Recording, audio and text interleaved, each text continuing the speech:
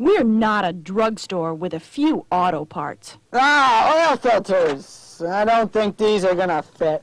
Or a department store with whose expertise is something other than auto parts. Ma'am, are these the only air filters you have? I'm sorry, that's not my department. Or even a grocery store that has oil or fan belts, sometimes. Excuse me, miss. You got any fan belts here? Fan belts, uh, check by the rump roasts. So don't waste your entire day running all over town. Come to the full-time professionals at Plattsburgh Motor Service first. Why didn't I think of that?